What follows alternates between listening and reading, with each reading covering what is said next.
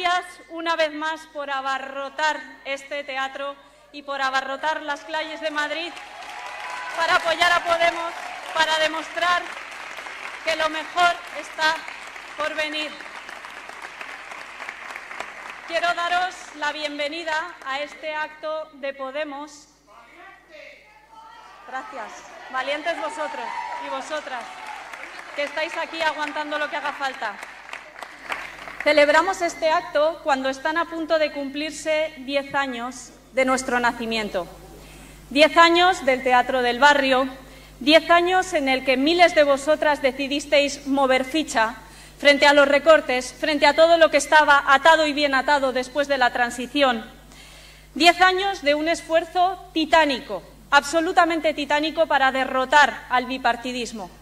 Primero, para echar al Partido Popular del Gobierno y después para conformar un bloque de poder que lleva gobernando en España de manera plurinacional y democrática desde hace cuatro años. Juntas, compañeras y compañeros, rompimos la cláusula de exclusión histórica que decía que la gente que piensa como nosotras no podía llegar al Gobierno de España.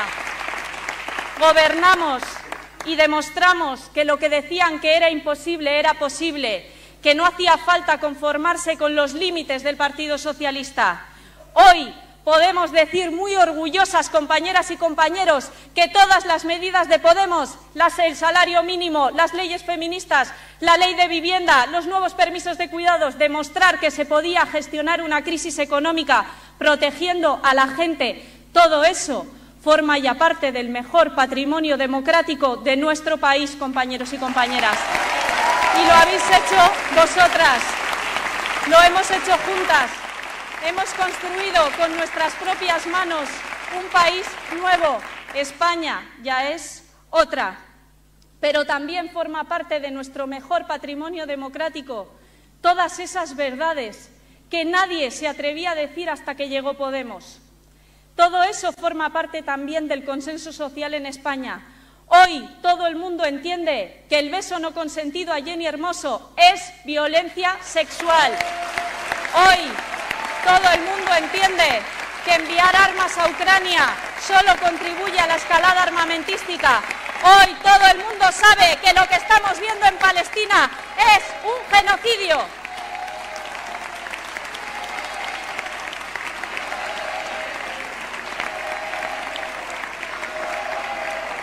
Fijaos, el otro día cuando preparaba esta intervención repasaba las iniciativas parlamentarias que Unidas Podemos presentó en su primera legislatura en el Congreso. Y hoy podemos decir muy orgullosas que una parte no menor de esas iniciativas está escrita en el Boletín Oficial del Estado negro sobre blanco. Hemos sido capaces de enfrentarnos a durísimos ataques. Creo que hemos sido enormemente útiles para España. Pero, sobre todo, nuestro objetivo es ser igualmente útiles en la próxima década para la gente sencilla, para la gente humilde de este país, como lo hemos sido en la pasada. Y ese es el objetivo que nos marcamos hoy. Y al mismo tiempo creo que es importante también reconocer que en estos diez años hemos recibido durísimos ataques mediáticos, políticos y judiciales. Esta misma semana se archivaba el falso caso Neurona.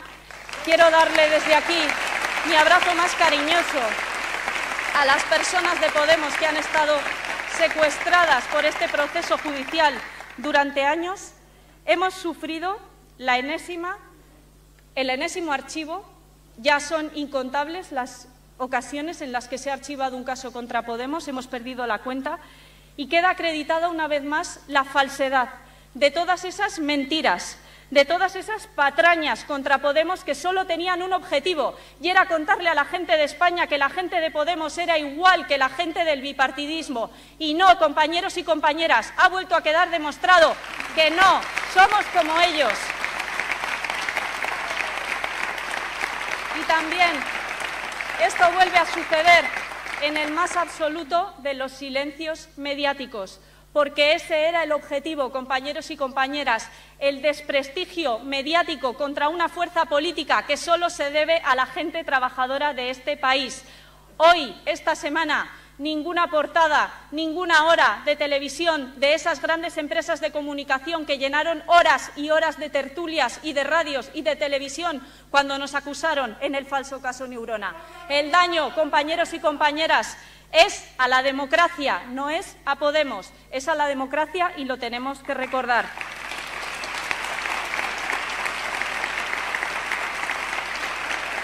También creo que es justo reconocer que en estos años no hemos llegado a tiempo a la implantación territorial.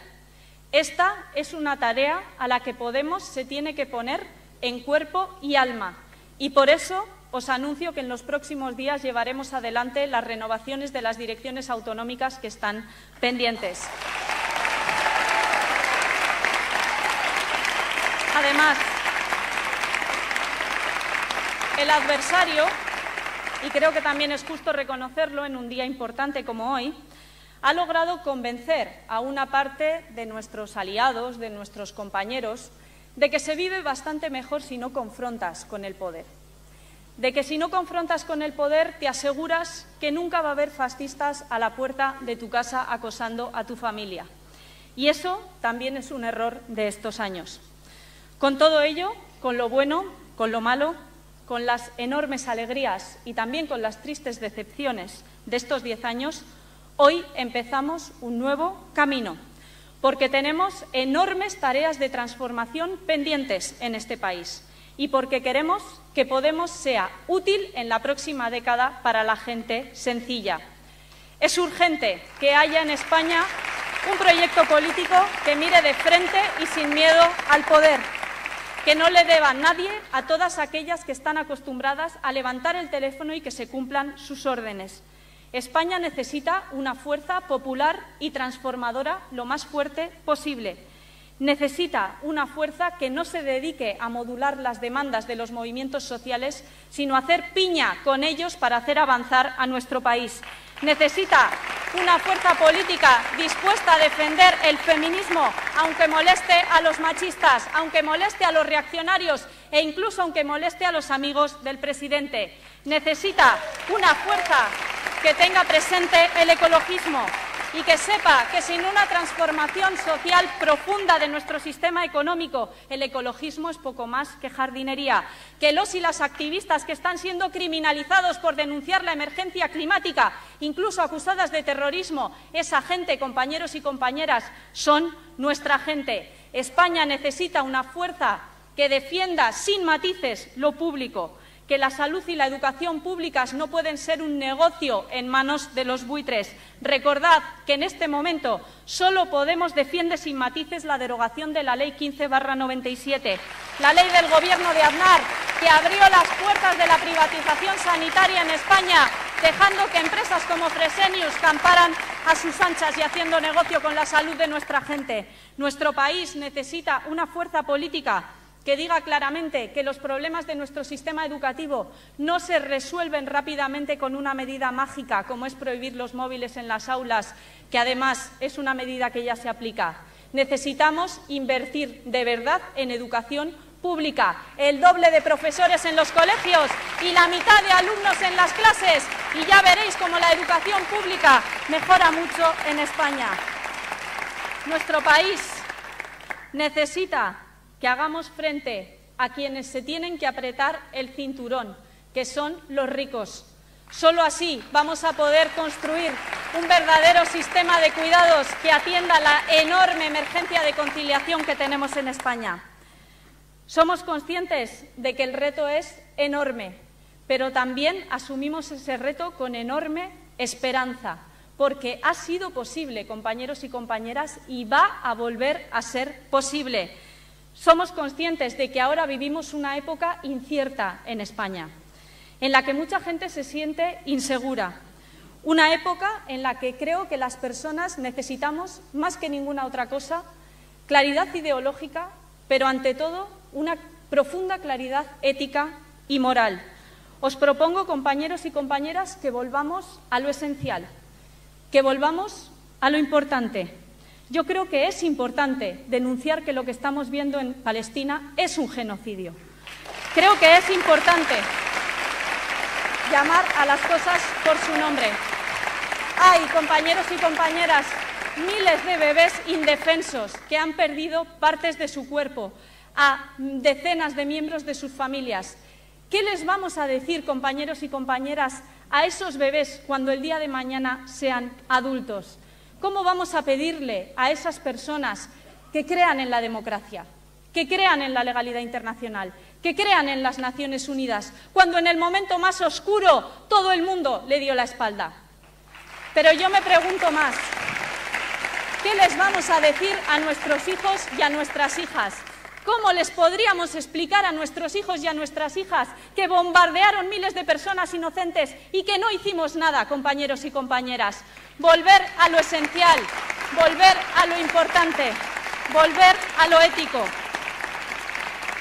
No nos podemos permitir la enorme incoherencia de exigirle a Palestina que se cumpla la legalidad internacional, cuando ni siquiera somos capaces de romper relaciones diplomáticas con Netanyahu y llevarle ante la Corte Penal Internacional para que se le juzgue como lo que es, un criminal de guerra. No nos podemos permitir la cobardía, compañeros y compañeras.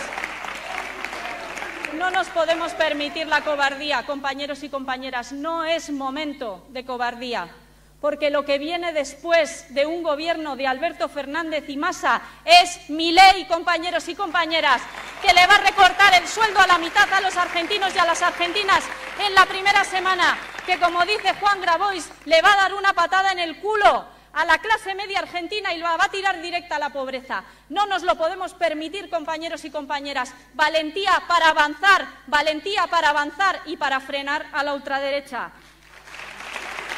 Es el momento de volver a lo básico, de volver a lo importante.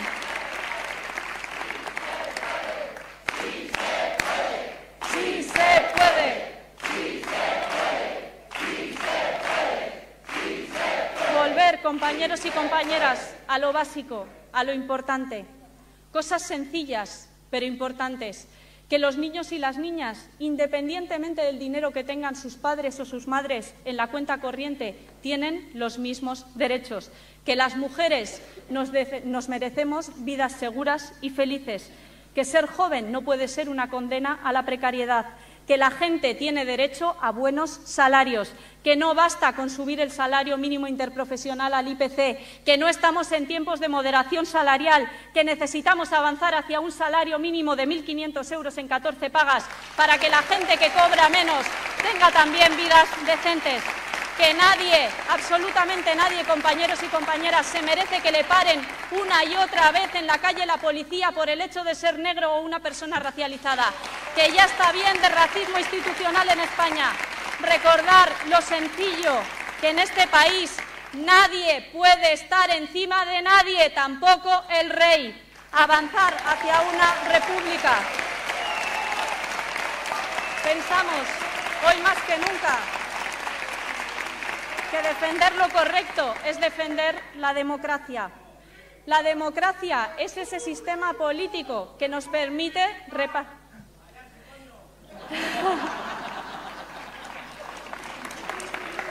Os decía que precisamente pensamos que en este momento defender lo correcto es defender más que nunca la democracia. La democracia es ese sistema político que nos permite repartir el poder repartir la riqueza, que la forma de vida de la gente más privilegiada de nuestra sociedad se parezca un poquito a la forma de vida de la gente que lo pasa peor. Necesitamos más democracia en el Poder Judicial, en los medios de comunicación, en la policía y las fuerzas y cuerpos de seguridad del Estado. Democracia para fortalecer nuestros servicios públicos, que son los únicos que de verdad nos hacen libres e iguales. Por eso hoy porque nuestra gente, la gente que se levanta temprano, que trabaja muchas horas, que quiere lo mejor para sus hijos, se merece una vida feliz. Y con ese objetivo, nosotras hoy aquí queremos deciros que estamos comprometidas, que sabemos que es difícil, pero que merece la pena intentarlo. En unos meses se celebrarán las elecciones europeas del 2024. Son unas elecciones muy importantes Europa está inmersa en una tendencia política enormemente peligrosa, que tiende a la ultraderecha, al racismo, al machismo, a la carrera armamentística, la militarización y el régimen de guerra. Estamos en una subordinación absoluta en nuestra política exterior europea a lo que marcan los Estados Unidos, que están en un proceso de pérdida de hegemonía que nos arrastra a la decadencia y al desastre. En ese contexto, nosotras tenemos muy claro que no nos referenciamos en la familia política del socialliberalismo que representan tanto los verdes como el Partido Socialista. Pensamos que es imprescindible un grupo político de izquierda fuerte que defienda claramente la paz, el feminismo, también una Europa diferente, alternativa al régimen de guerra. Estamos en una encrucijada histórica y en estos momentos no nos podemos permitir la tibieza.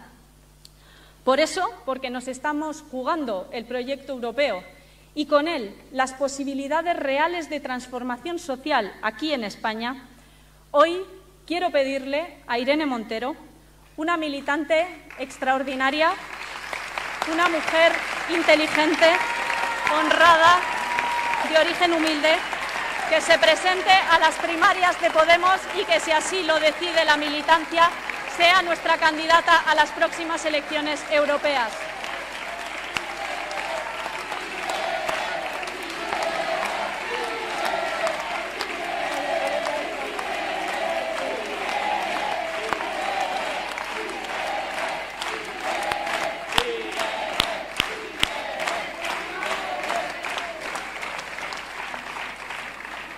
quiero pedirte,